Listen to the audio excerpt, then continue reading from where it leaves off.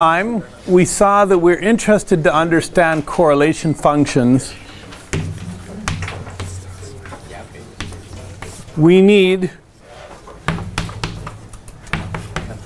1 over z trace e to the minus beta h, operator at time 0, operator at time t, and I can rewrite operator at time t as e to the minus iht and e to the plus iht, like so.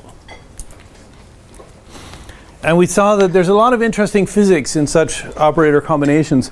For instance, if you want to understand physics close to equilibrium, you can understand it in terms, a lot of things at least, in terms of equilibrium physics at unequal times like this. And We'll look at something slightly more general. We'll look at trace e to the minus beta h, and then an anti-time ordered series of operators going up to time t, and then a time ordered series of operators going down back to time zero. And that's like a slightly more, gen so here I talk about two operators. You could have more than two operators. And as long as you have some operators here and some operators here, these ones are in time order, these are in anti-time order, and these all come to the right of these, then that's a kind of correlation I'll talk about. That's not the only kinds of correlations you could have. As soon as you have four or more operators, you can put them into orderings which don't appear here like early, late, early, late. You can't do with this. And if for some reason you find yourself needing a correlation function of four operators in some bizarre order, then you have to do something a little more general than what I'm writing. Um, and I struggle to think of a single example where you really need that. Maybe that's overstrong. I think there's probably somewhere there's one or two examples. But what we do here will be sufficient and um, what's important is it will develop operators of this form um, lie in a perturbation theory which is internally which is complete in the sense that you don't need any operators outside of this form to study it. Okay, and I'm going to draw a picture of how we're going to do this. Um,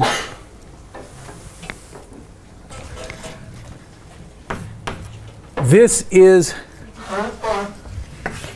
so here's time, and here's imaginary time.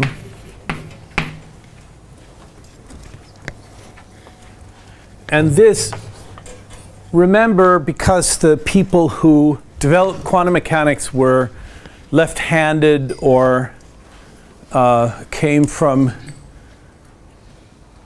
Jewish, Muslim, or South Asian backgrounds, they all worked from here towards here instead of from here towards here. I don't know if that's true, I just like it as a statement. Okay, so you have to think of this as the first thing, and then you go towards these things as the later things. And so the first thing that happens is I evolve from time zero. So here you're at t equals zero and I evolve forward in time to time t. Then I evolve backwards in time back to time zero. And then I have my density matrix, which because I'm in equilibrium, we already saw looks like, it isn't, but it looks like, evolving in the Euclidean or imaginary time direction to here. And then this trace is periodicity, which says that I connect this point to that point by identifying the values. Okay, and that's what we're doing, and this is called the anything anything good has lots of names. This is called the closed time path.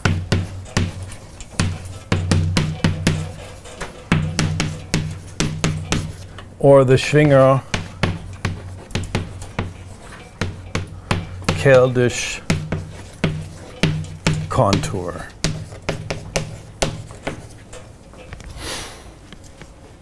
So this is a picture of what it means. And in practice, it's going to work as follows. As usual, when I see an evolution equation, uh, uh, operator, sorry, like this, or like this, or like this, I'm going to break it into a whole bunch of tiny little pieces. Okay, so I'm going to write this as 1 over z trace e to the minus beta h over n e to the minus beta h over n that's a, this one chopped up into a whole bunch of pieces. Maybe an operator. This one chopped into a whole bunch of pieces. e to the i h t over n. e to the i h t over n. Operator. e to the minus i h t over n. e to the minus i h t over n. Uh, with some huge number of pieces in here, a huge number of pieces in here, and a huge number of pieces in here. You all know what to do next. Insert complete sets of states. Okay? So I'm going to insert a complete set of states here, which I'll call, no, I, I better not call them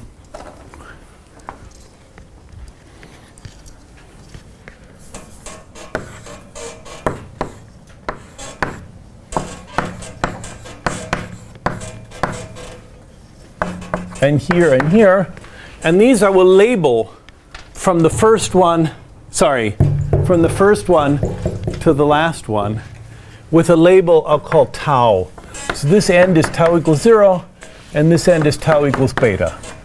And this tau is exactly where I am along this line.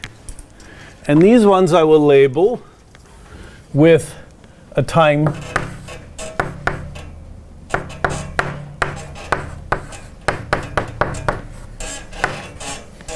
So I insert another whole bunch of them in here.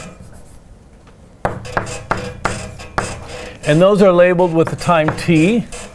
And that time runs from t equals 0 there up to t equal, uh, sorry, t prime is 0 up to t prime equals t here. And that is running along here. And then I insert a final additional set of states here.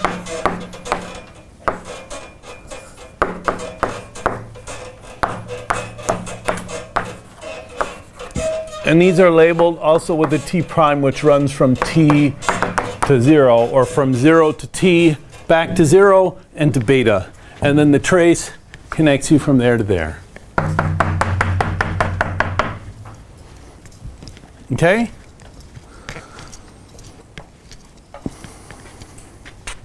And this is very important. These complete sets of states are distinct and independent from these. They have nothing to do with each other. They're in separate complete sets of states. And this is a separate complete set of states as well.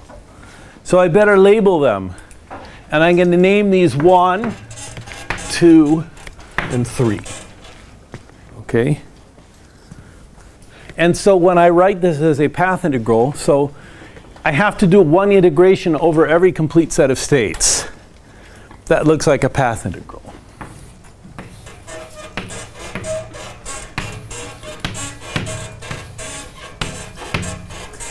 That gives me three d phis over the first set of states, the second, and the third.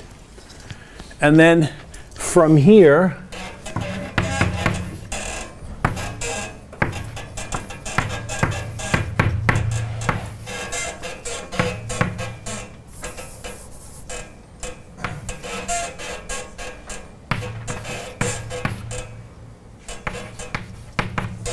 I get an integral over a Minkowski action density or Lagrange density um, from time 0 to t with the factor i. And this is a factor of plus i because this is a factor of minus i. And there is, always a minus sign associated with um, the Legendre transform from Hamiltonian to Lagrangian, as you know.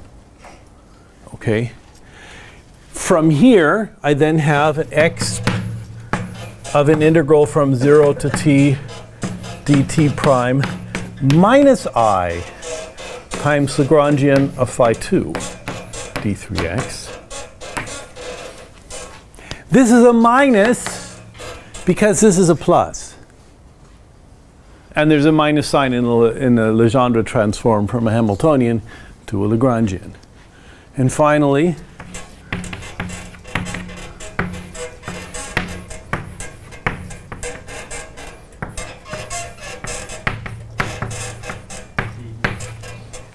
I have an integral over the Euclidean action density. I keep forgetting my D3x's. Um, which is exactly the same as the one we saw where we didn't bother with all of this stuff. Okay? Now, oh, and my operators.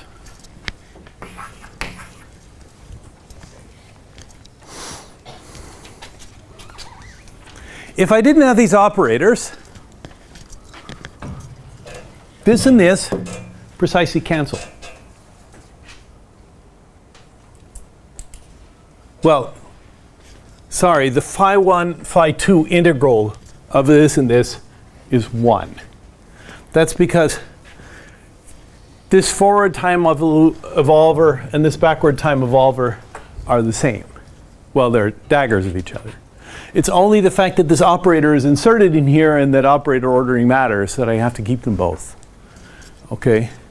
Now you know the most comfortable way to do things is not to explicitly insert these operators because if you do that, you have to rebuild the whole path integral every time you want a different pair of operators.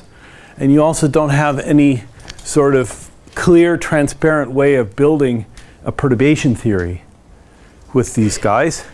And so what I want to do instead is I want to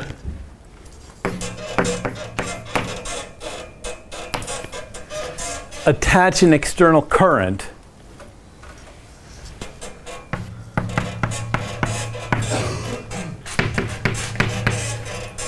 sorry it's, it's either var phi or it isn't okay so I'm going to modify my Lagrangians by the addition of an external current which allows me by differentiation to pull down copies of phi out of each one of these things and thereby build operators. So then I don't have to write the operators here.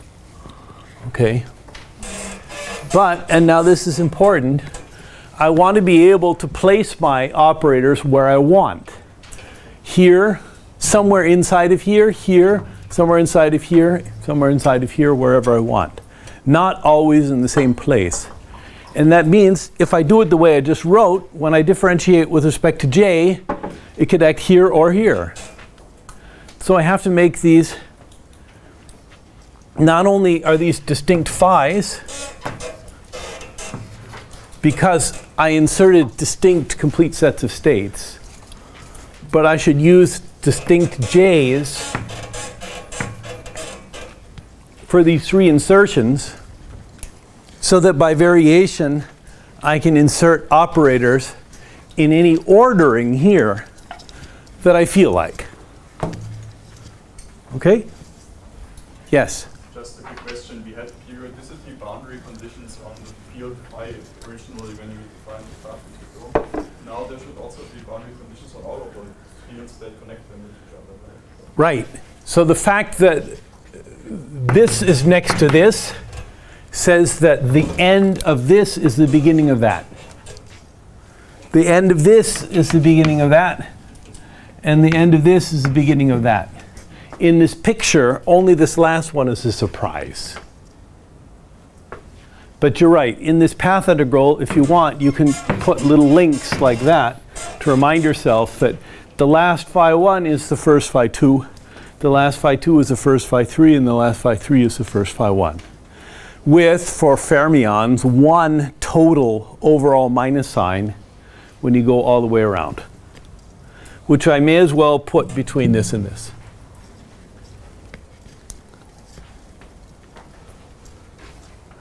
Okay.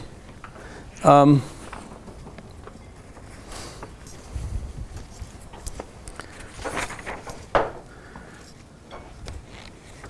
now, as usual, so I'm going to write this thing as L1, L2, and L3 where by those I mean the ones built out of the phi 1, the phi 2, and the phi 3 fields. Okay? And um, e to the i integral L1, I'm going to write this as a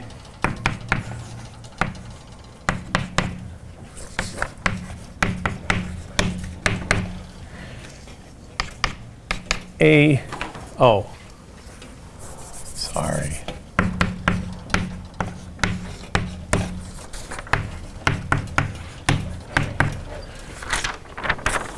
So this guy in here, I'm going to write as a combination of a free and interacting and a external current contribution. Okay. And as usual, variations with respect to J1 pull down factors of phi. And that means that when I write this interaction part, I can replace each phi with a minus i variation with respect to j, if I want, right? And that will give me, when I then expand the in the interaction part, that will give me a perturbative expansion. Okay? But I have to do the same thing for L2 and for L3. And that means that I'm going to get a bit of perturbation expansion where I have three kinds of vertices.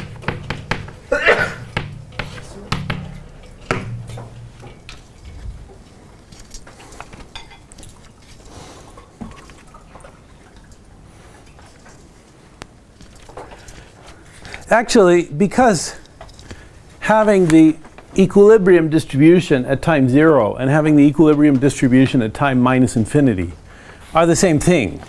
The equilibrium distribution commutes with time evolution. I can actually push this guy back and have him go down, or her, or whatever, at minus infinity, and it doesn't change anything.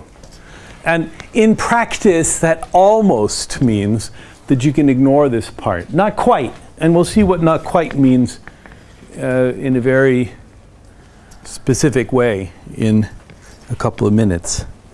But you can almost ignore this. And so I'm going to concentrate on the part of the problem involving L1 and L2. And the result is that supposing that I ask the following question What is the expectation value of phi at x, phi at y. And here, the ordering matters. This is first, this is second. Okay? That means that this I have to achieve by a variation with respect to J1, and this I have to achieve with a variation with respect to J2, and so this is a phi 1 and this is a phi 2 because that's the way to make sure that they're in the specific order that I wrote there. These are not time ordered. These are the order that I wrote. Okay? So this thing I will call G sub 2 1 of x and y because it's the correlator between a type 2 field and a type 1 field. And these indices 2 1 which some people write as minus plus, depending on who your advisor was or who their advisor was or who their advisor was. You either write this with twos and ones or you write it with minuses and pluses. But I won't do this because my advisor, well, okay. Um,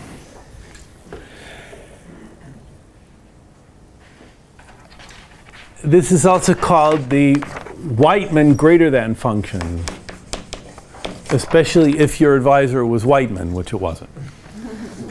Okay? Uh, this is, I think, an older notation. Who cares? Um, so that's the correlator of one of these two guys with one of these one guys. And I could calculate it perturbatively. And in lowest order, I just have a 1 and a 2, and I connect them with a G21, running from one to the other. And in the next order, I have to perturb not only in L1 but also in L2. So I could have, for instance, in scalar phi to the fourth theory, I could have a vertex here which is all 2's, or a vertex here which is all 1's.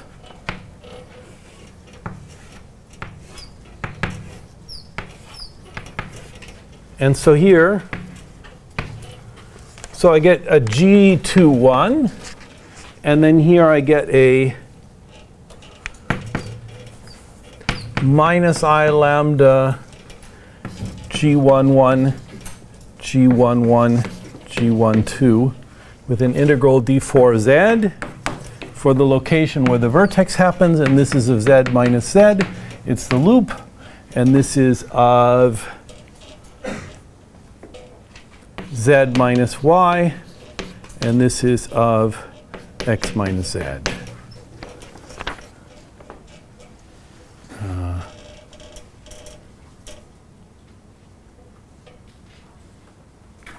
yeah. So this is this guy, this is this guy, and this is this loop guy. And here I have the same thing, but with a plus.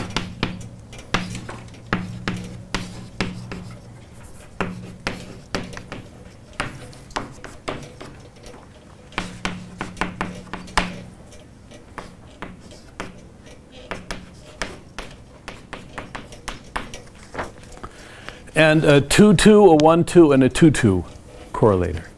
Yes? Yeah, I have a question. Uh, well, it's, for me it's difficult to see why that uh, two point correlation function is non vanishing. I mean, because you are now. This one. Yeah, Well, I'll talk about that in just a moment. okay. Why would, but why would it? I mean, because at the end you have to set J, J1 and J2 to 0, right? And, Yeah, but I vary. Pulling down these guys and then I set them to zero. Your argument would say that all correlation functions are zero, period. Uh, well, because I, I still don't see how the action is like, so. So, I mean, I make two variations with respect to, so, sorry. This thing with j's in it, I call z of j1, j2, and j3. And what I really meant here is that you should take a j1 and a j2 derivative of z of j1, j2, j3, and then set all the j's to zero. I'm just wondering about And the this- it's- term. What? I'm just wondering about the quad, uh, quadratic term of the. Okay, in the absence of a quartic term in the free theory, I just have this, and it isn't zero. Because I take two j derivatives of j propagator j, and I get something that's not zero. The point is that there's a propagator between fields over here and fields over here. Um, it's important here that the end boundary of one is the beginning boundary of the other. They are attached to each other. They know about each other. They can correlate with each other. We'll see what the correlator is in a moment. Okay? This looks hopelessly different than everything you've learned. Okay? Um, in particular, at some high order, what it can look like and let's say that I wanted to do something more complicated. Let's say I wanted two phi 1s and two phi 2s. So I wrote it wrong. The phi 2s are over here. The phi 1s are over here. These are time ordered. These are anti-time ordered. Because this thing happens in anti-time ordering and this thing happens in time ordering. So this is the ordering specified correlator of two time ordered and two anti-time ordered things. And the most general diagram is you write your phi 1s over here. You write some vertices here. You draw a line, you write some vertices here. And here you have phi 2 and phi 2. And then you connect everything however you want. This could connect to this vertex, and that goes across to here, and bing, bing, bing, bing, bing, bing, bing. Um, whatever. I guess I had cubic and quartic interactions in my theory here. No, I'll just add a couple more lines, and then they're all quartic. Okay. Bing, bing, boom, bing, boom. These are one vertices. These are two. Every propagator that lives over here, like this one, is a 2-2 propagator. These are 1-1 propagators. And all these ones are 1-2, or if you view them the other way around, 2-1 propagators. And this looks like a horrendous mess. Okay? And it is. And you say, but wait a minute. If I just make beta infinitely big, I have vacuum. And I know that vacuum is beautifully simple and I don't have to deal with any of this garbage. So what's the deal, man? Oh, and just to be a little bit more explicit. Can I ask something before you? Yeah. oh, sorry. Yeah. So in what in what sense is this now different from the case in which there's no temperature? It's not. That's what we'll see. No temperature is just the beta to infinity limit. And all that's going to do is change the specific forms of my g's. And that's what I'm going to talk about next. So what I have is I have a G21, a G12, a G22, and a G11. These are the guys, just depending on which direction you decide to put your arrow, that lead you across this gap. These are the ones living on one side, these are the ones living on the other side. This is the time-ordered correlator of two operators. This is the anti-time ordered correlator of two operators. This is operator x minus x comma y. This is operator of y, operator of x. This is operator of x, operator of y. Just the two possible explicit specific orders that you could put the operators.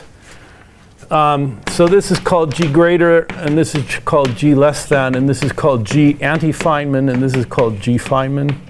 Or this is also called G anti-time, this is called G time, depending on who's writing it. Okay? This is familiar to you from vacuum field theory. This is just what the propagator looks like in M dagger, the, the conjugate of the matrix element in normal field theory. And these we have to explore.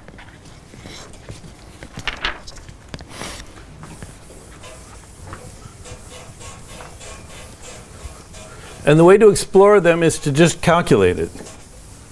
And the way to calculate it is to say, I could calculate it if I had time. No, I'll, I'll, give you a little bit of the details. So let's think about G21. G21. That is, and I'm going to do this in vacuum. So that's vacuum. phi x, 5y, vacuum. If this, uh, I may as well make y 0, right? Because it's translation invariance. And next I'm going to write explicitly the x vector dependence here and the time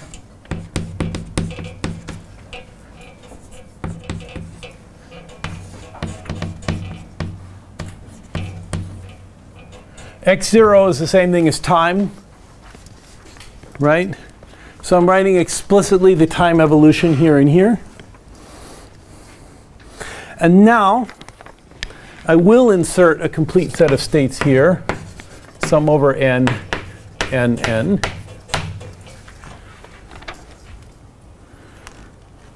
Mm, there or no?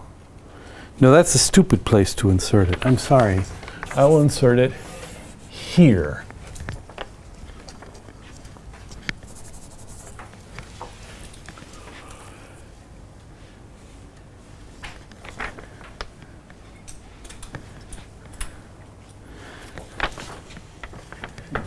I'm going to name n operator on zero vacuum to be C sub n. Okay? It's just a name. This is the amplitude for the field phi to act on the vacuum and create my state n. Okay?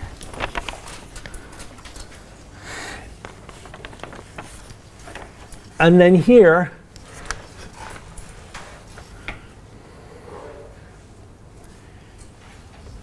I'm going to mention that e to the minus i h x0 acting on n can be written as e to the minus i e n x0 acting on n. And this is no longer an operator. I pull it out.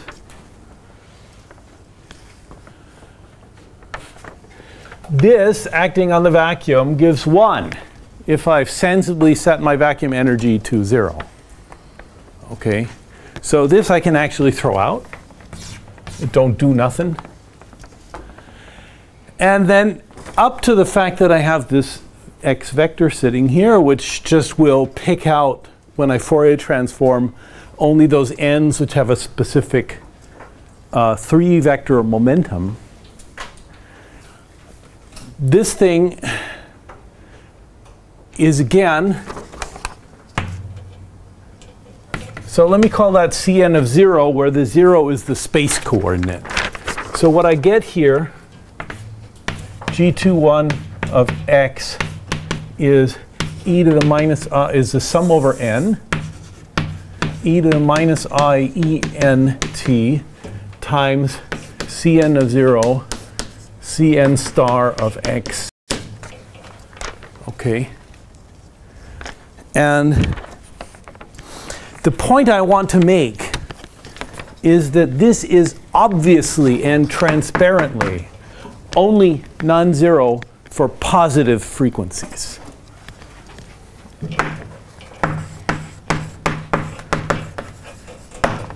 If I Fourier transform this sucker, I will get a contribution at every en where this isn't zero. I will get a zero for any negative frequency because this is built entirely out of positive frequency things. Okay? And so, in fact, what I'm going to get is um, with a tiny bit more work, g greater than of p, when I Fourier transform it completely, is going to be theta of p0 times my spectral function of p squared.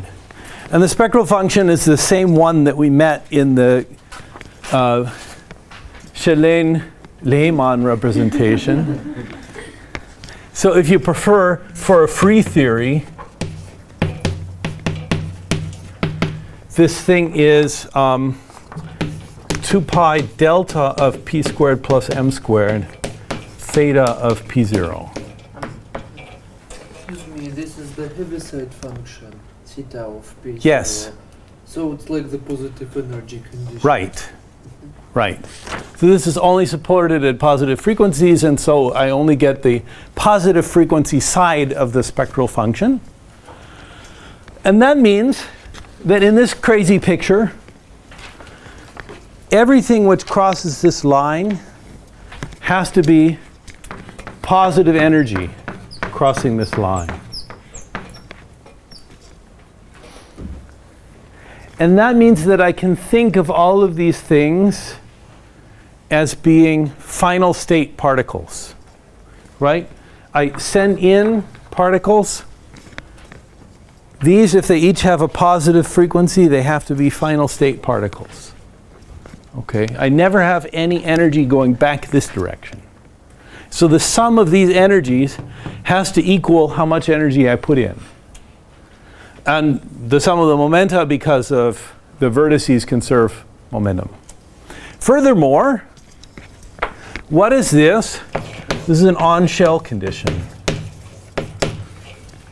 So in vacuum, these are on-shell final state particles.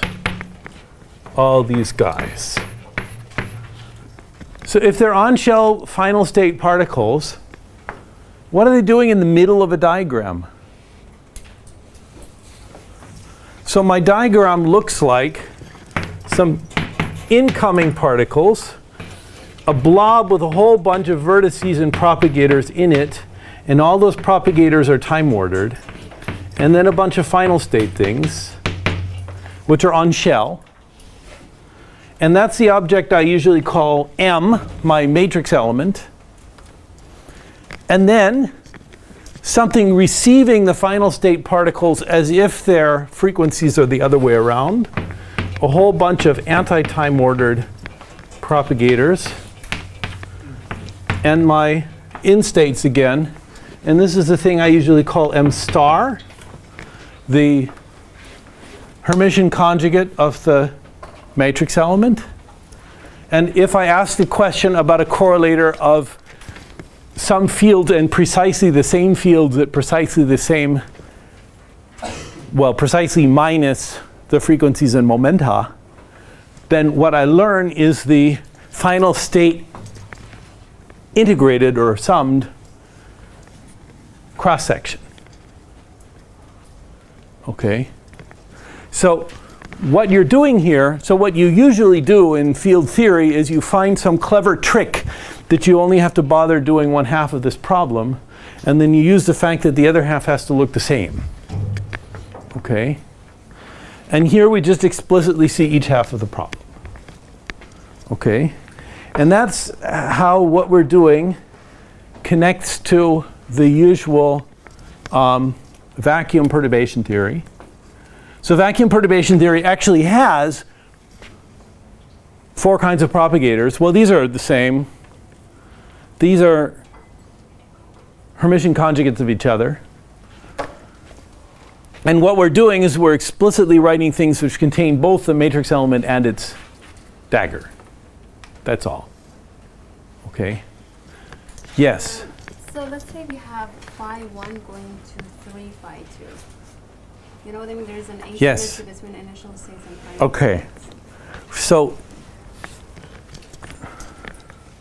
so if I have one phi 1 over here and three phi 2s over here, and they're the same particle type, then in vacuum, I will not find a way to do that through a set of on-shell intermediate particles if this is on shell and these are on shell. Okay? Yeah. So, I mean, it's partly what questions you ask. Um, but, I mean, remember, if I put something different here from here, the question I'm actually asking is not does one thing go to three things? It is can one thing go to the same final state, which three things could go to? Which is a different question.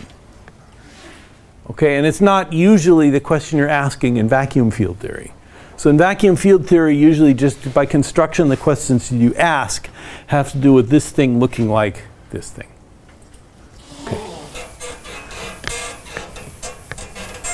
So what goes different at finite temperature?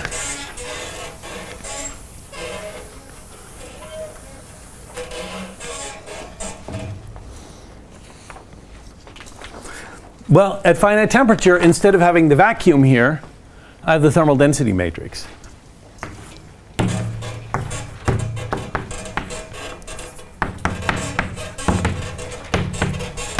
e to the minus beta h. And then I have e to the i h x0 operator at x, e to the minus i h x0 operator at 0.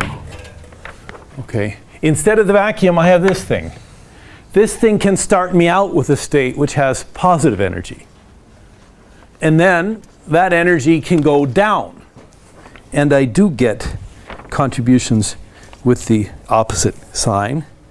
And so to evaluate this, I have to insert here a complete set of M states, and here a complete set of N states.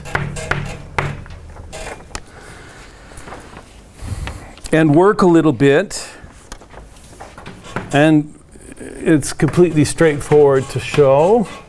You get e to the minus beta em. That's because this e to the minus beta h acts straight on em. And then I get an e to the i em minus en t. And then I get m phi at x n n phi of 0 m.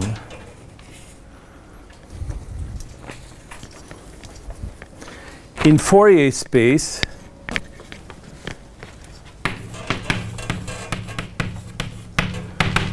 if I Fourier transform this from x and x0 to p and p0, then these phases here in the time integration forces p0 equal to en minus em. So only n's and m's which differ by the Fourier coefficient that I choose to study show up in this sum. If I do the same thing with, this is always dangerous. If I do the same thing with Mr. less than, then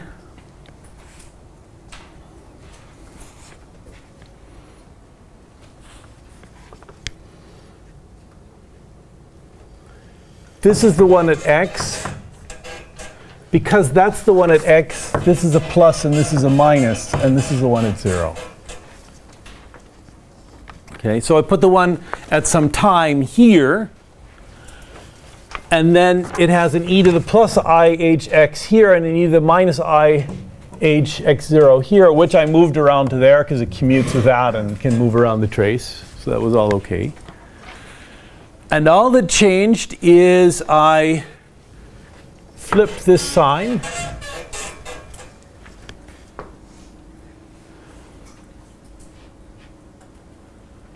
And I flipped m and n in this expression. So this is m and this was n.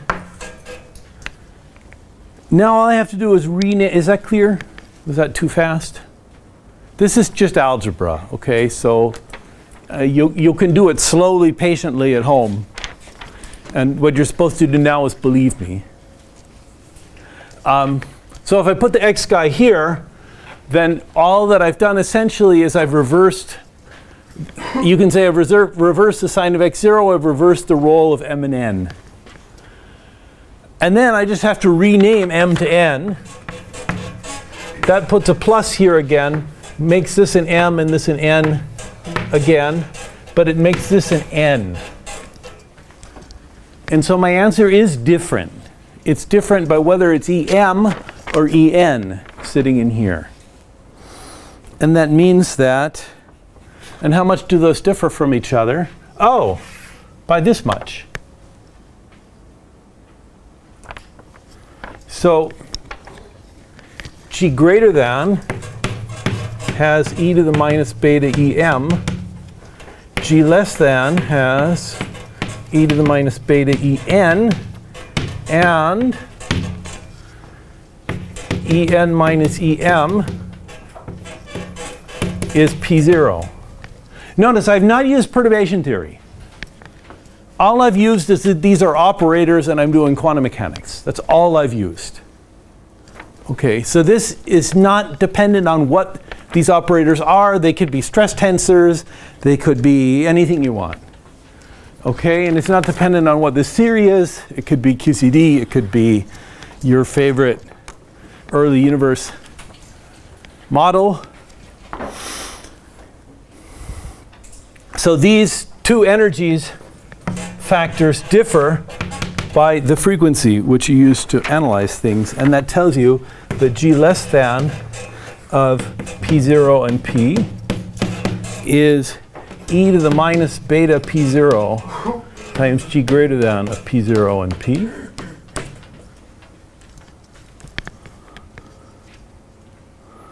And this is called the Kubo Martin Schwinger or KMS relation. Okay? And this is true. It's not some leading in perturbative something, something, something. It's just true. Okay?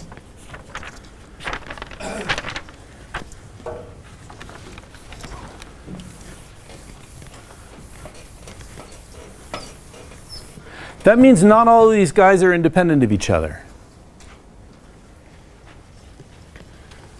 There's another linear dependence, which is also just true. If I add these two together, I get the time ordered plus the anti-time ordered. That's the sum of the two orderings. If I add these two together, I get one ordering plus the other ordering. That's the sum of the two orderings. That means that G12 plus G21 equals GT plus G11 plus G22. They're not all independent. There's one linear combination, a linear dependence between them. So why is that? Um, just explicitly, this is 1, 2. This is 2, 1. This is 1, 2. Okay, I'll write it very quickly. No, no, Okay. I will listen. Okay, this is This is one ordering. This is the other ordering. This is one ordering at positive times and the other at negative times. This is the other at positive times and the one at negative times. So at positive times, this is 2, 1 and this is 1, 2. And in negative times, this is 2, 1, uh, 1, 2 and this is 2, 1. So at both positive and negative times, these add up to these. Okay. So in a free theory, what we find, g greater than p is 2 pi delta of p squared plus m squared times 1 plus Bose statistical function of p0 over t. So this is the same as the vacuum one except with a 1 replaced by 1 plus Bose. g less than is given here in terms of g greater than. Oh, and this is a plus because of my metric convention. If you have the other metric convention, it's a minus. And here it's just n Bose. At zero temperature, n Bose is 0, and this is 0, and this is 1. Ah, at positive frequencies. At negative frequencies, careful. At negative frequencies, n Bose is minus 1.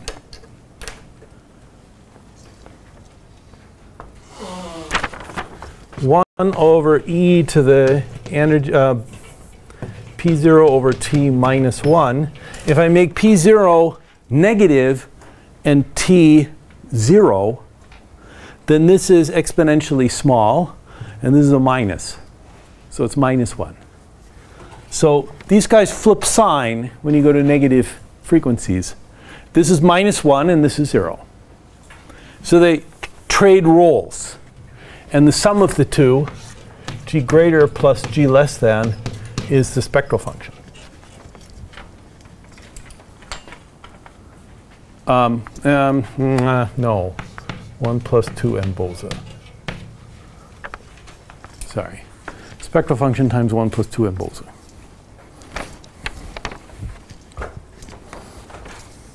Okay. Meanwhile, GT, you're completely used to. It's minus i over p squared plus m squared minus i epsilon. That's what you're used to. except maybe with a plus here, a minus here, and a plus here, depending on your metric, plus, oops, 2 pi n Bose delta of p squared plus m squared.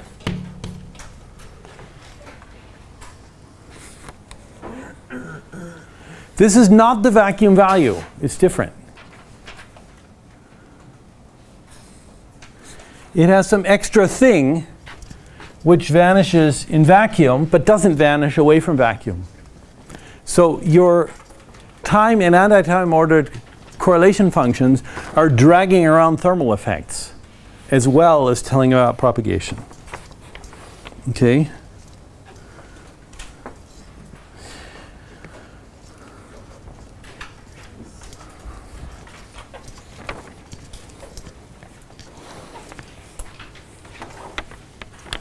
How do you get rid of that?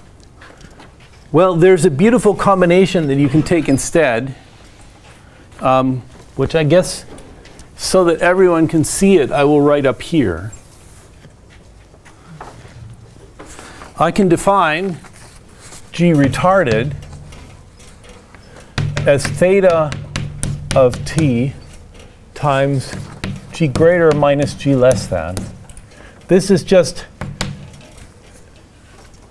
time positivity, and this is that I'm asking about the commutator of the two operators. That is the usual meaning of the retarded function. Okay? And after some modest amount of annoying work, just taking these definitions, so this I can write as theta 1, theta 2, theta function plus theta 2, theta 1 theta bar function. And similarly here with the opposite order, and I just mess around for a while, and I discover that this is the same thing as 1 half of G21 minus G12 plus G11 minus G22.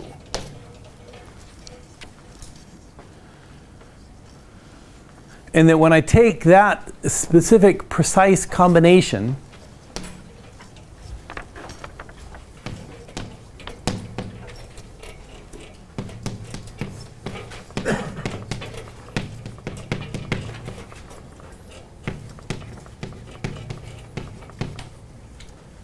guess this is a minus.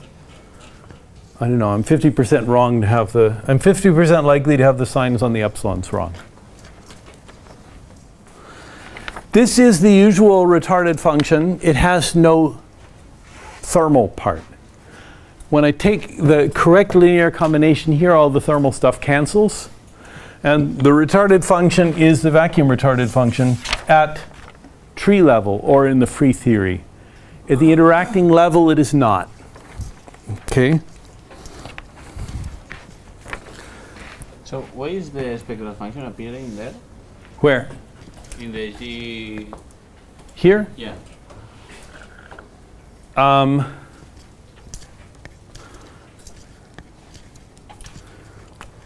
So if I... so the, the qu- okay, so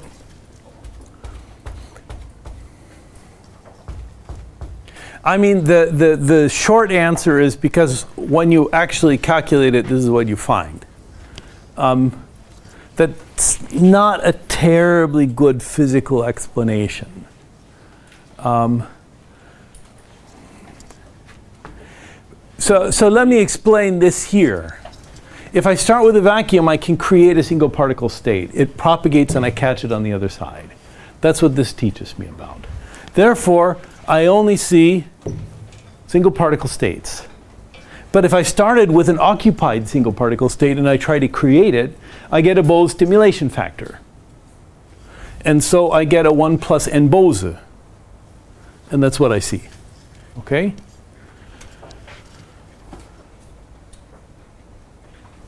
So that's the that's the that's this guy. Okay, GT I'm playing these games with the orders of the operators. And the part where I was acting on the vacuum, you know, gives you this. But there's also the stimulated part. Okay, and so there's a contribution where this acts on a state that already has something and stimulates it. Okay, and after some work, you find that you get this. Okay, I don't, I don't know if there's a transparent way to see that, of course, that's the case. When I take this commutator, sorry, when I take this, yeah, this commutator is this difference. And you can kind of see it here that when I take this difference, the bosas are getting canceled and I'm keeping only the one. Okay, so this is a way of making a combination where I don't notice this thermal effect. So regardless of what order I set my operators, when I hit a state that's occupied, I get the stimulation factor. Okay, any order, time ordered, Wightman ordered, anti-Wightman ordered. If there's something here, then I pick it up. But when I take the difference of two orderings, then it cancels. And the time ordering is not the difference of two orderings, so it doesn't cancel. Maybe that's a better way of thinking about it. Okay. And now, having done all of this work, I'm going to tell you that this is actually a slightly inconvenient choice. Um, so, the number of things that can be usefully calculated with this formalism is not quite as like, high as I'd like to pretend, although I think that it is a useful formalism. But it turns out that when you try to do calculations, they're incredibly opaque in this 1 2 uh, notation, and it's better to redefine a different linear combination called the RA basis. R, phi r is defined as phi 1 plus phi 2 over 2, and phi a is defined as phi 1 minus phi 2. This is just rotating the 1 2 basis by 90 degrees. Okay? And that's clever because the retarded function is exactly RA.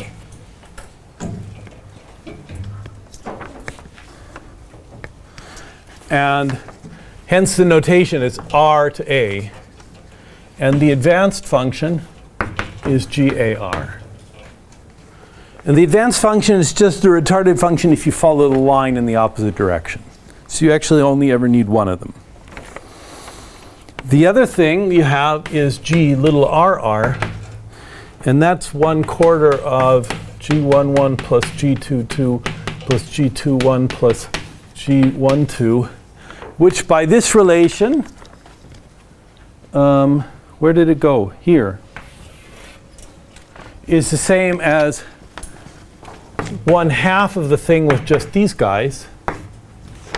And that is um, n bosa plus a half times gr minus ga, also known as the discontinuity of the retarded function, also known as the spectral function. So the way to think about this is the GR is propagation and G little rr is statistical correlation. This is the fact that things can be correlated because of vacuum fluctuations. This is the fact that things can be correlated because of thermal fluctuations.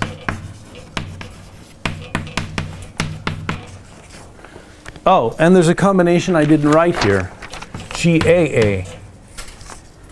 So here's RA, AR, RR, that leaves AA. It's zero. That's why this is a good, that's a reason that this is a good basis. This basis is more transparent. Instead of having some completely weird linear combination vanishing. It's just straight up one of the things is zero. And the other ones have their roles. One tells about correlations in your system, and one tells about how things propagate. And the one that tells about how things propagate is at tree level, the same as in vacuum. And the other one at tree level is, well, it's this except with a half. It's strictly on shell. So this is on shell, and this is as in vacuum. At lowest order, at lowest order. And furthermore, if I actually have them as full functions at non-perturbatively or at some loop order or whatever, this relation between them is exact. So if I can calculate one of these guys, GR, I can dagger it to get GA, and then take the discontinuity to get the RR. And so knowing one gives you all of them. This is another rewriting of the same KMS relation.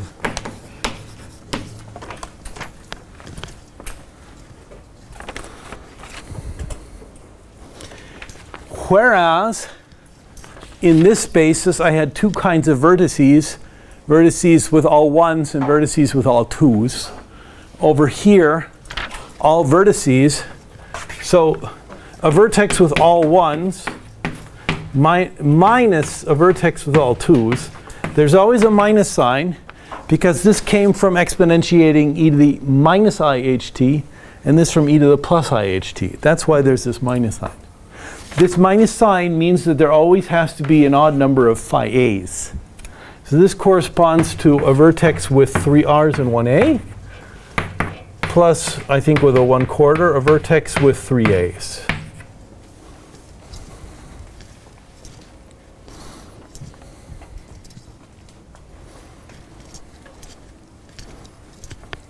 So every vertex gives you an A. It therefore forces a, G, a retarded function um, propagator. As you know, every time you add a loop, you add one more propagator than vertex. So you can have one more GRR per loop.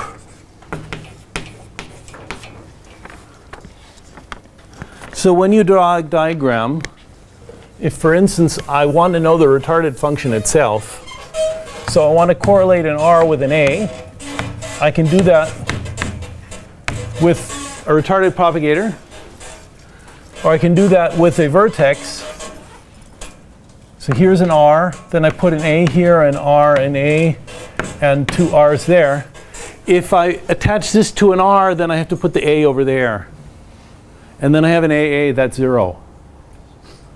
If I put an A here and an R there, I also get zero because I have a loop which is retarded and starts where it ends. It has a theta function that it has to move forward in time, but it starts where it ends, so that's zero. So this is the only contribution.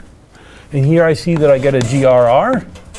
And that means that this is proportional to 1 plus 2 n Bose, or let's say 1 half plus n Bose. And then if I have two loops, here's an R, then I put an A here, an R here, an A there.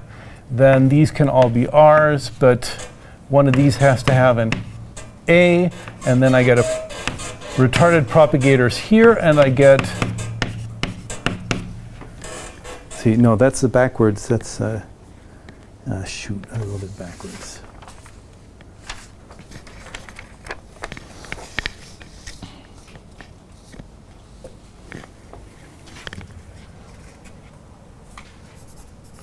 You always write things as going from A's to R's.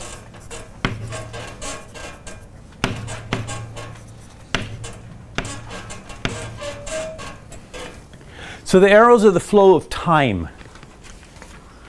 things move from early to late following a retarded propagator. So this vertex is at the earliest time, later, later, last. Here, pre-existing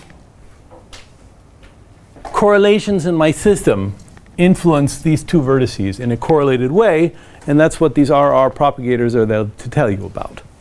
So this involves a 1 half plus n Bose squared. And you see with every power of lambda I can get one more power of n Bose. If you're interested in infrared phenomena, n Bose is big, and that means that you can have things proportional to n Bose lambda to some power, and for a sufficiently infrared scale that's not convergent.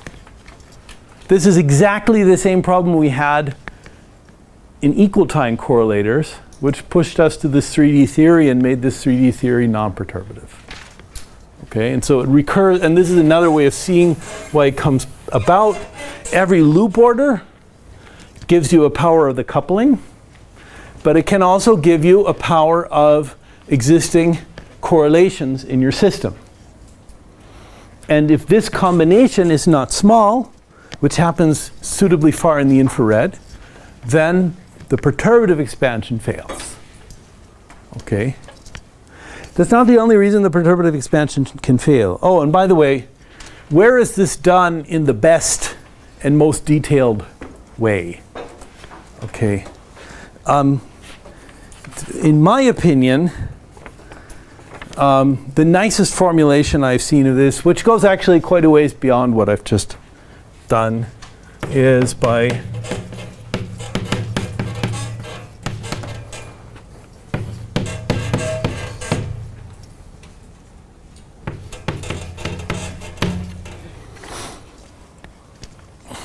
It was in Simon Caron-Huot's master's thesis. Uh, d- yeah, okay.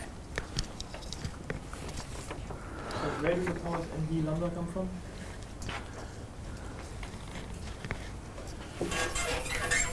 So, take some ugly diagram. Okay, and now add another loop. Okay, let's say, for instance, that I had an R and an R here, an A, R, and an RR, for instance. So this was an A going off to an R, and this is an R going off to an A, for instance. Okay, before I added this loop, this diagram had a statistical function on it. This diagram had a statistical function on it. And this was a retarded function, carrying information from the past to the future. Okay, when I add another loop here, so now I don't know what's going to happen here. I add a loop here. At this vertex and at this vertex, I have to put an A somewhere. Okay, so I put an A here, and I put an A, I don't know, here. Okay, this is now a retarded going up to this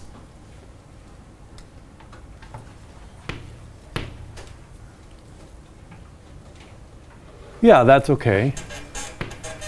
Those are retarded, but now this has two R's and this has two R's. So where I had two cut diagrams, now I have, uh, cut lines, now I have three. Yeah, wouldn't it just add another one half plus NB? Yes, Lambda? so I get an extra 1 half plus NB, and it multiplies lambda. Okay, so, okay, so really there's a half here. Okay, yeah. okay, that, okay. Yeah. Okay. 1 half plus NB is approximately T over omega. And the first correction, first of all, is down by two powers. At, at small omega over T, it's down by two powers, and has a tiny little coefficient. So this expansion, the sort of, this is a classical expansion, is to throw out this. This is the classical statistical approximation. And its corrections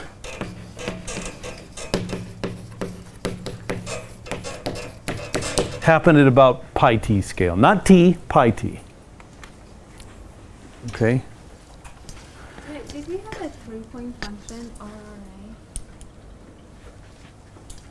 Yeah, if you have four points, it's RRRA, and if it's three points, it's RRA. It is always with an odd number of A's. So the fact that the two branches have the opposite sign means you always have an odd number of A's. This guy eats up two of your statistical functions. It's usually subdominant, but you still need it. Okay? If you ignore this and you make this approximation, then you're doing classical field theory. If you ignore this and you make this appro- you leave in the half, then you're doing classical field theory but treating the quantum initial fluctuations as if they're real classical stuff. That turns out to have some weird ultraviolet catastrophe divergences which are fixed by this. But I don't have time to talk about that.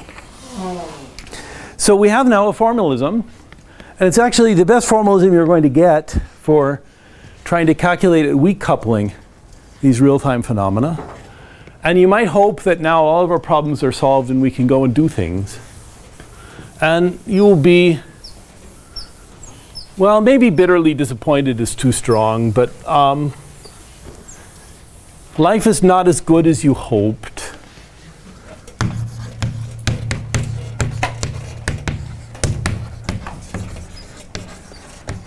And that is not because this formalism is bad, it's because the problems are hard.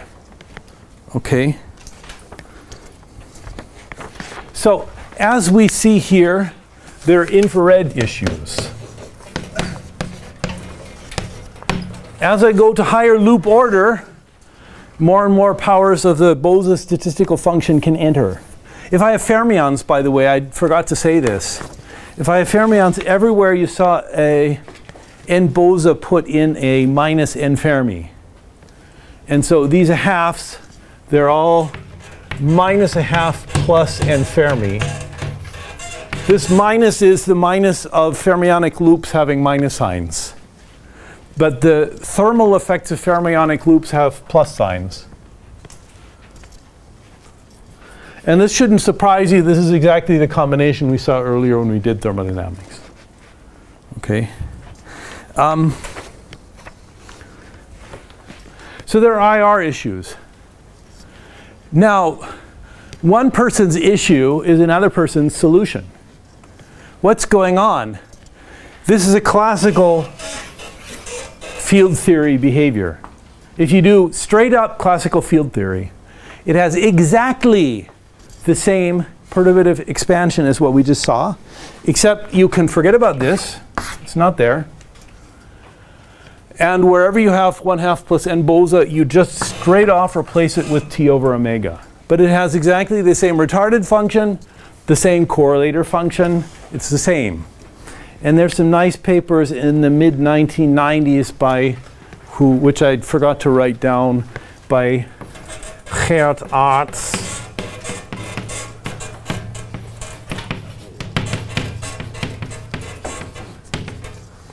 Where he explores that in more detail.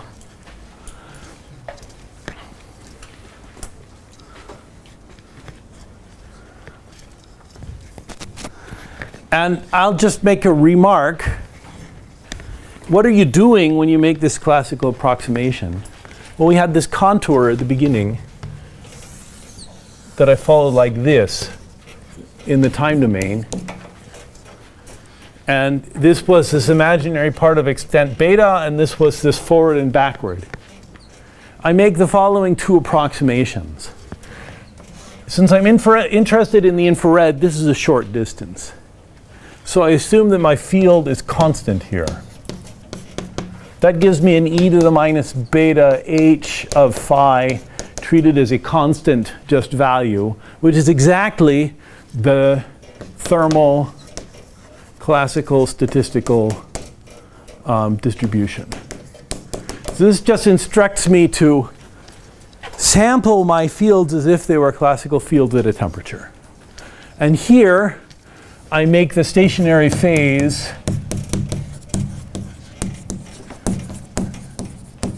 approximation. That's the same as classical field evolution. It means that the equations of motion are to be interpreted literally as the evolution equations for your fields. That gives you, if you expand it as a perturbation theory, exactly the perturbation theory I just described here, dropping this and making this approximation.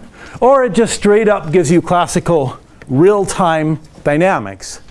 And classical real-time dynamics you can solve. I didn't mention the path integral we set up had i's in the exponentials. That means there is no important sampling you can do. Lattice non-perturbative techniques don't work. Um, sorry. They can deal with this part, but they can't deal with this part. Um, but classical field theory can be solved in real time. It's not even terribly hard. In fact, the hybrid algorithm we heard about in the earlier lectures if you then do it in three dimensions and you interpret the time variable literally, is exactly how you solve this. Okay? Um, so, you know, this is actually a good thing. It means that we have a different tool that we can solve things fully non-perturbatively. There are interesting questions there, um, but it doesn't really work. No, let, us put it differently. Um, there are pitfalls as Bödeker, McLerran, and Smilga pointed out. Um, I'll just give you the arXiv reference. This is back when the uh, archives each had their own front address.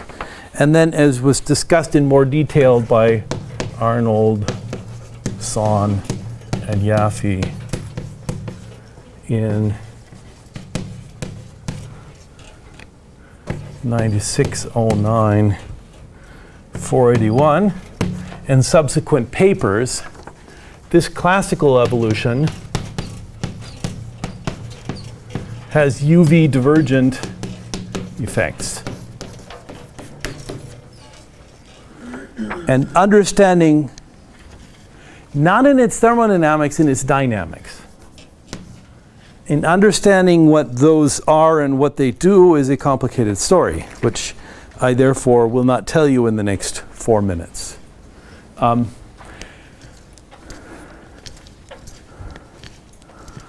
but let's just put it this way when we looked at this thing in the previous lecture as this 3D effective theory, which is the same thing as this thing treating the fields as being constant. We had this Fij, Fij, and then we had this D0 AI, D0 AI, no, DIA0, all things that we expected. And then we had something funny, md squared over 2a0, a0. And we wondered, what is that? And why do I use a d here? I use a d here because this is Debye screening. And this is the Debye mass, or Debye people who haven't had Gert Aarts tell them that they're mangling nice Dutch words. Would say it. Um, this is what it looks like at equal time. But you know that if I try to apply that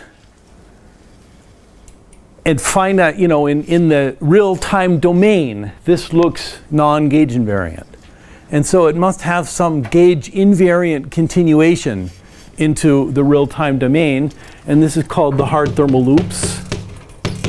And it's very, very non-trivial. This, if when you apply it into the time domain, has some uh, complex structure which has um, multiple.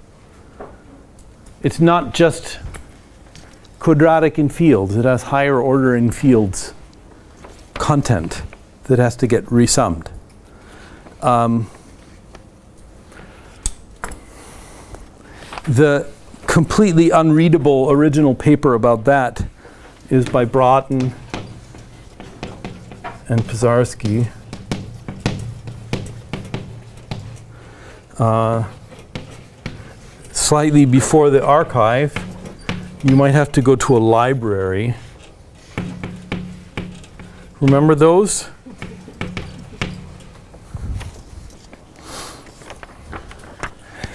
And these hard thermal loops, they mean that the actual structure of, say, our retarded function is trickier than you expected.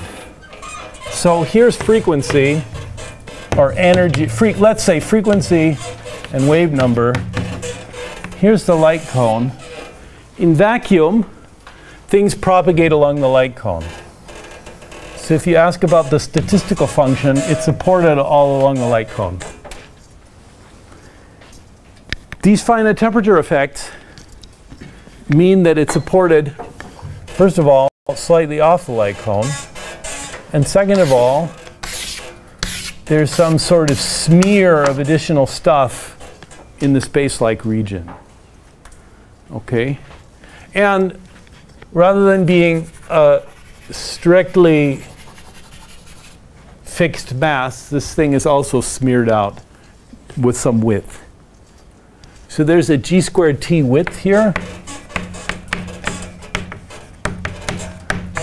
There's a g squared t squared effective mass squared here. And there's so-called Landau damping here. And then this is the really funny part. For bosons, this is the transverse guys, and they come down to some value here. And the longitudinal guys and the transverse guys can't be distinguished at that point. But the longitudinal guys come up and they run out of statistical weight and they approach the axis fast. Well, this approaches the axis slow. And the mass squared you have here is different than the mass squared you would determine from here. Ah! and for fermions, a similar thing happens. They don't lie on the light cone. They come down to here, and they actually hit here with a slope. And then crawl up here and run out of statistical weight. That's the plus plus chirality. And the minus chirality comes down here, crosses like that, and does the same thing. So even if the mass is zero, and the left and right movers don't couple to each other, they both propagate as if they're massive, which is kind of weird. And then they can even move backwards, but with very, very small spectral weight. So there's weird things. There are strange things done in the midnight sun. Oh, sorry, that's something else. And there's one more thing I have to ca caution you about.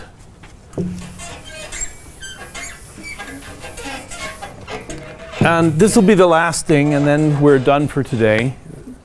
It's just a remark.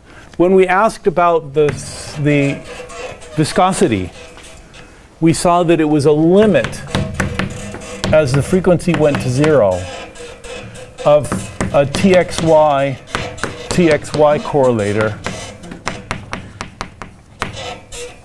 at frequency and at k vanishing. TXY is a composite operator. That means it attaches to two lines. And at lowest order, I would just say, well, connect this line to here and this line to here. Okay? And put in a tiny little frequency here.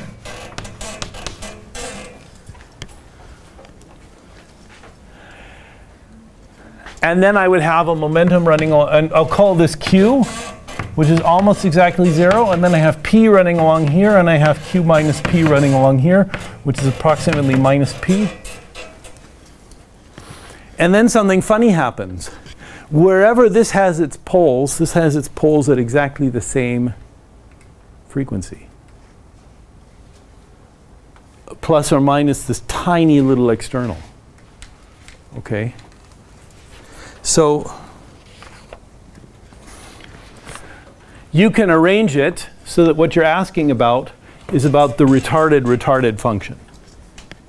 Okay? But this is at minus p. So the retarded function has two poles just below the axis. The retarded function of minus p has two poles just above the axis. And those poles, because I'm putting in almost no frequency, are at the same place. And then I'm supposed to do the frequency integral along this axis, this contour. Whether I close that contour above or below, it will pick up the residue of these poles.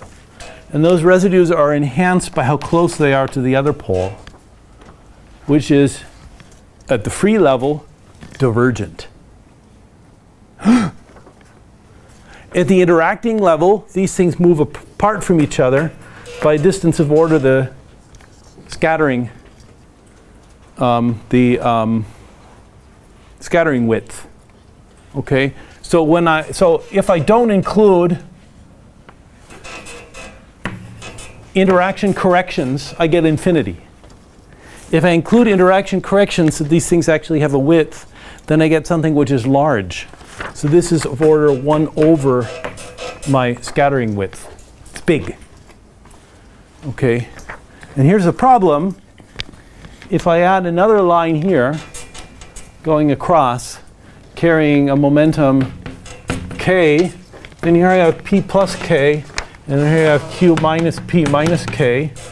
And then I have one loop integral here, and another loop integral here. And this same thing happens to each one of them. So I get a 1 over width plus alpha over width squared plus alpha squared over width cubed when I put another one in there, etc. How big is this width? Well, it's of order alpha.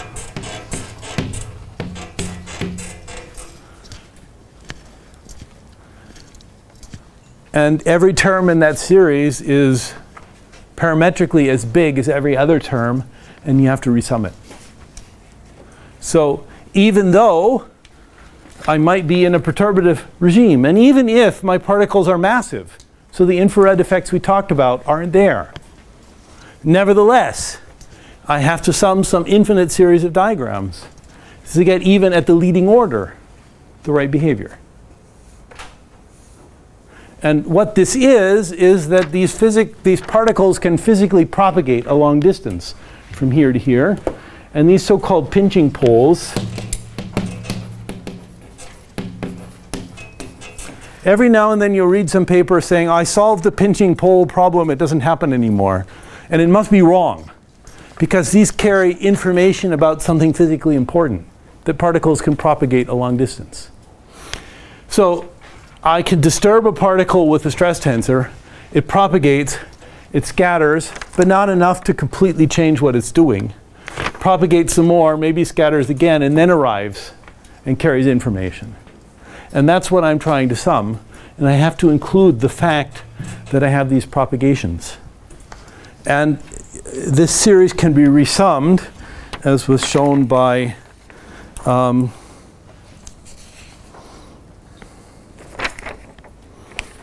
Now, where do I have? Ah. As was shown by Sang-Yong Jeon in his PhD thesis,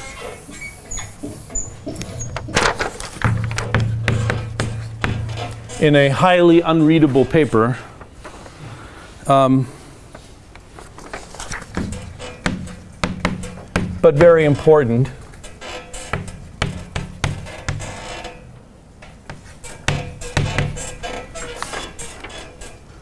It's more than 50 Physical Review D pages. Um, but it's packed with good stuff. And it explains these issues of resummations in um, full detail.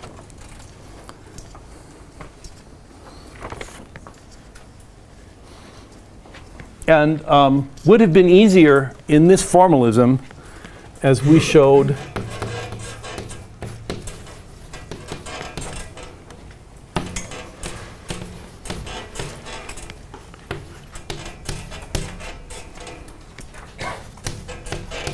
in an almost equally unreadable paper a few years later. Um,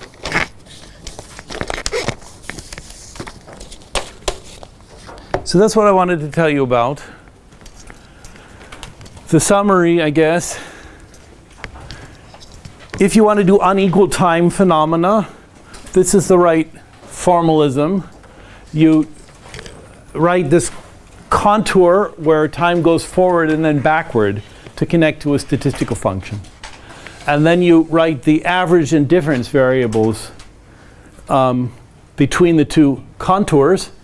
And the correlators are retarded functions and statistical correlation functions. Um, there are many things that make it complicated to use this formalism, all of which are physics. And one thing is that in the infrared, you have large statistical factors which destroy perturbation theory. And that's real physics. And you might be able to treat it by treating that physics as a classical field theory. But it's a classical field theory in the environment of the quantum mechanical fluctuations at shorter distances, which influence its dynamics in a way which is not so simple. Um, even absent those infrared effects, if the question you're asking is about very low frequencies or long times, then the fact that particles can propagate long distances can come in and give rise to um, the requirement for resummations of your perturbative expansion, even to learn things like the viscosity at leading order. Um, now, what I haven't addressed is what to do for systems that are far from equilibrium. And um, partly that's because I don't think we really know. If it's far from equilibrium and all the physics is in the deep infrared and the coupling is very small, you can probably use classical methods like this. You just erase that part and you put in your known initial distribution, whatever that is. But if you want to really do that in an interacting theory in a sensible way, you have to know your density matrix and know how to represent it, which is very non-trivial. And um, the right thing to do would be this closed time path with a density, uh, with some general density matrix hanging here, and if you know how to write down that density matrix, then you have a set of tools, um, which will be even more difficult to use because you can't Fourier transform in the time domain. Since your density matrix has one form here, it'll have a different form at a later time. Um, and I don't think we have very good tools to treat a far from equilibrium system. If it's close to equilibrium, you rewrite the departure from equilibrium in terms of unequal time equilibrium things using fluctuation dissipation. And then you try to use this technique. Okay. So I think the organizers, probably on the behalf of all of the speakers for this week, because I think they put together a really good set of students for us to lecture to. And I've really enjoyed the, the questions in particular that you guys are taking an active participation and um, and we hope you get as much or more out of the next two weeks. Thanks.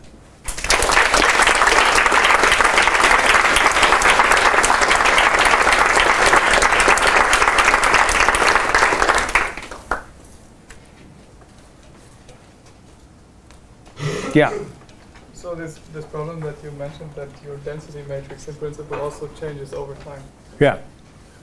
Uh, in, the, in, in these small departures from equilibrium, in principle, they should also be there, but we can ignore them because of some hierarchy? Or? Okay, I, I work very hard to express the information that I want about close depart small departures from equilibrium in terms of unequal time but equilibrium correlation functions. And if I can do that, that's the fluctuation dissipation part which I talked about in the last lecture. If I can do that, then I have to calculate something like this in equilibrium where this isn't an issue. But that always involved, well, for transport certainly, that involves small frequencies.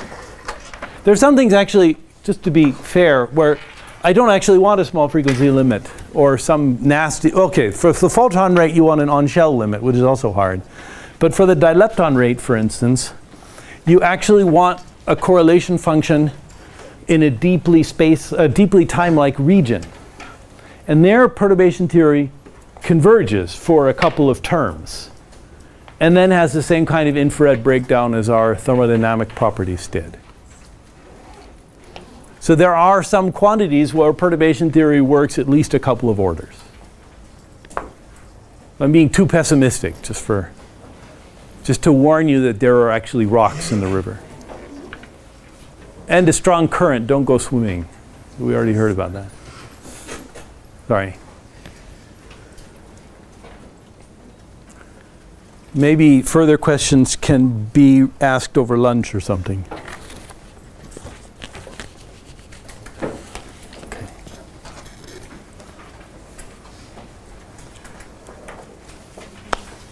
Good.